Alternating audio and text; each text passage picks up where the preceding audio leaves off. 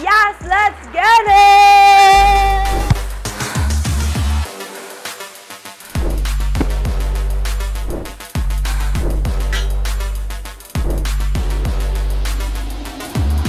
Yes, let's get it!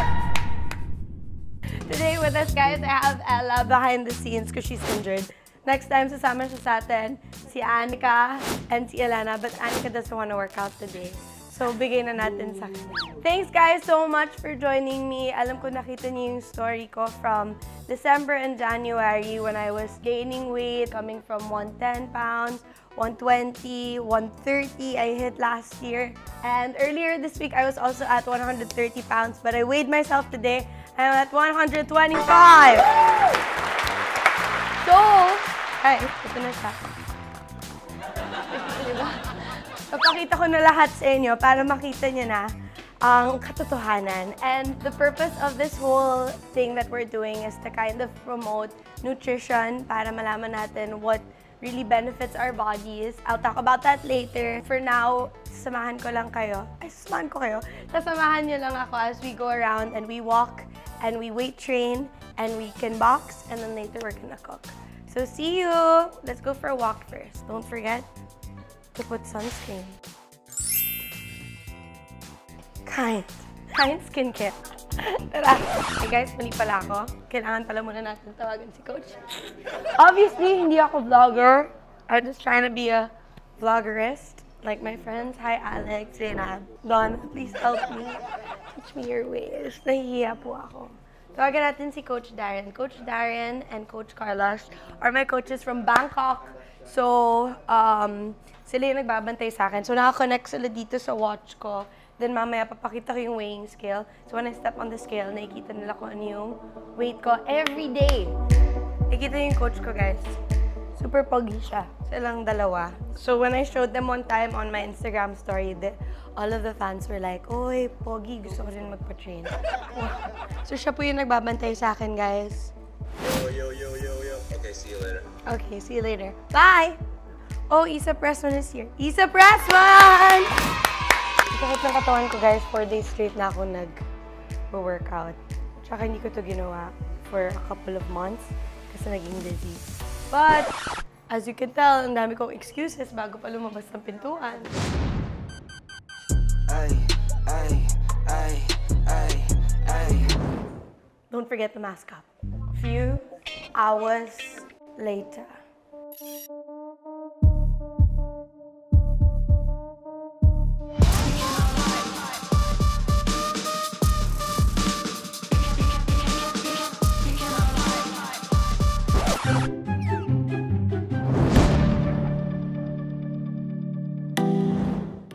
This is the park, guys.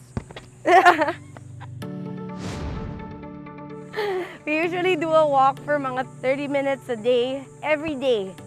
So currently, we have been working out for four days straight na since I decided to get back on it. 30-minute walk to wake you up. Camping. Tsaka para maganda yung gising mo and makafocus ka for the day. So, try walking 30 minutes every day. Morning! Good morning po! Yung struggle dito guys is kapag nag-walk kami, tapos nangangamoy pandesal. Ganun nagkakaalaman kung matitiis ba namin yung pandesal smell or not. So the importance of walking every day daw sa morning is that it's better than coffee, it makes you wake up better, makes you start the day better. Sunlight, vitamin D, and our goal every day is to take 8,000 steps. Lahat kami, we have these watches. So my watch is just an Apple Watch, but it has a golden concept case. Thanks, Golden Concept. And we try to hit 8,000 steps every day. Kahit office day or kahit nasa work. The Tatry lang talaga namin yung best namin. Kasi sometimes we don't have the time to work out or anything, di ba? So at least we can keep that in check. That helps a lot for your health. Tsaka when we're older, parang hindi tayo mawala ng mobility. I need to buy... Mobility, flexibility. Yung camera crew namin, since it's their first day, parang pawis na pawis sila. Sila na nag-workout. Oo, so guys, balik na kayo and then we'll see you guys later in the house. Bye everybody! Tuloy lang namin. Guys, we're back. We did mga 30 minutes of walking. Nakailang steps na tayo? Oh, 3,703 steps. So Coach Darren gives us mga ilang mga workouts to choose from. So he does three. Sinabi ko kasing target is my tummy. Kasi, as you can see, I have little now. Papakita ko na sa inyo para makita nyo in episode 5, 6 as we go along. We can kind of show you how I've grown and I hope that inspires a lot of people to know na you could be a stronger version of yourself. The goal is not always to be skinnier or to be like somebody else, but just be the best version of yourself and to continue getting stronger and healthier. So I'll show you guys my journey. Let's see. Let's see if I can actually be a better version of myself. Ito na nga guys. So, the enemy, leg day. Every other day it's leg day. And dahil lumaki yung legs ko, and nagkaroon ako ng cellulite.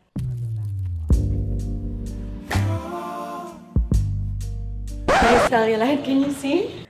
We're gonna work on that. Starting off with a dynamic stretch.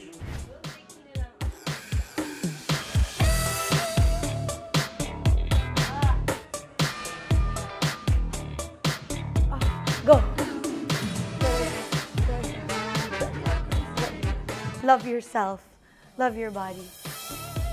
Accept yourself for who you are. Welcome to Cirque du Soleil. Hindi ko abot. Oh, that's what that's for. That's what tall people can do.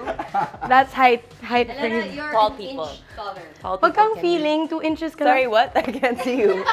Where are you? She can't see me. John Cena. Two sets, we're gonna load yan lang, 10 kilograms, then we increase to 20. Guys, in December, January, February, sobrang dali lang nito for me. But now, magkakaalaman na. Ah, light work. Light work. Super light work. Super light work. Don't know why we're doing five. Good form. There you go. Breathing.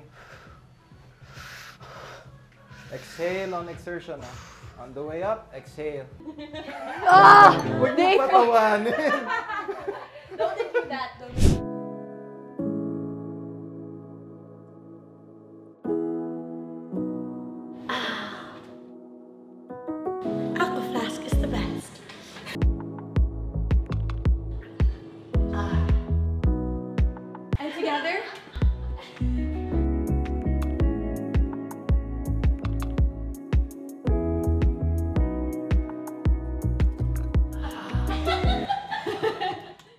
Sobrang cute. Cute nga. Ah, diba? Tsaka marami pang mga colors na lalabas soon. What we need to do is, in between our But when you come up. reps, we need to really rest. Kasi Coach Darren says, kailangan na sulitin yung 2 minutes ng pagre-recover para maging worth it yung strength mo when you do your actual reps. So to do your best, you have to also respect your body's rest. Proud of you for saying yes today. Joke time lang. Pagkakain ko ng breakfast, wala na. Ah,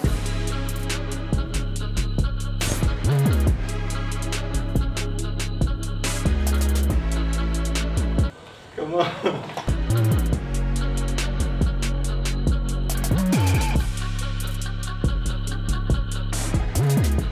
Yung mga afam tawag nila sa akin, Yazi. Bakit kaya?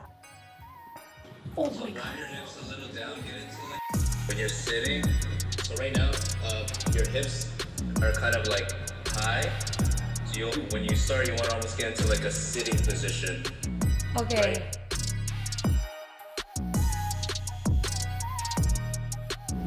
Alam mo yung body ni Coach Darren, it's really like carved because he really lives by this nutrition. May nutrition, may buhat. Oo, may buhat, may nutrition, and he's been trying, prac- trying, trying to practice on himself muna bago niya ituro sa ibang tao para it's proven, di ba? And he's tried so many different ways na yung IF, he tried um, cutting all the carbs. Now he allows me to eat carbs, he allows me to eat anything as long as I track it. Which is a bit more sustainable kasi di ka naman pwede never kumain ng rice because rice So, is you're life, gonna diba? crash yung crash na diet. You're gonna gain it all back. Oh, so more. gusto niya parang sustainable daw. So that's the struggle, guys. Kaya natin to. Stay consistent! 22 workouts complete. I'm actually embarrassed by this because it's been 7 months and 22 times pa lang ako nag-workout. But this is why this is important. Tracking is important because we know na ano nang ginawa natin for our bodies, di ba? You can't spend 22 hours lang to take care of yourself. No. Let's get better. Done na. This is saved. It's connected to my watch and nakasend na rin kay Coach Darren so he sees everything. Nag-ano tayo, nag-lift tayo ng 90 pounds. Wow! 90 pounds. That's a lot. Then we did the hip thrust, dumbbell rear foot elevated split squat, yung barbell back squat yung inuna natin. Glute bridge and plank yung buwelo natin. So hindi pa tayo tapos sa plated weight sit-up. But that's because we're going to squeeze in a quick cardio session lang ng boxing. Actually, that's funny. The reason why I started boxing was because I was trying to get over a heartbreak. True story. Trivia number one. So, isipin niyo na lang kung anong year yon, tapos kung anong nangyari sa akin.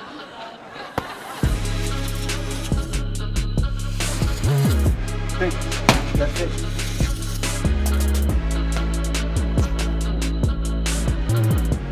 Ah. It's really good cardio. Kita naman. Four days straight eh. That's why you four days it. straight workout, guys. Para mawala tong bilbil ko. Let's get it. Dati, stretching pa lang to. And I'm tired. Uh, we've been doing this for four days, guys. Sobrang pagod na pagod ako and ang sakit ng katawan ko. And as you can, siguro na see na kahit medyo loose pa siya, it's getting better because we put in four days of discipline and siguro ganun lang talaga kadali to change your body's habits then when you have the discipline on choosing what to eat. So, the tracking, and bantay lang, ang dami ko kumain, pero mas maraming gulay, mas maraming protein kaysa sa dati na I would just snack on one, say one giant burger lang, and then with fries.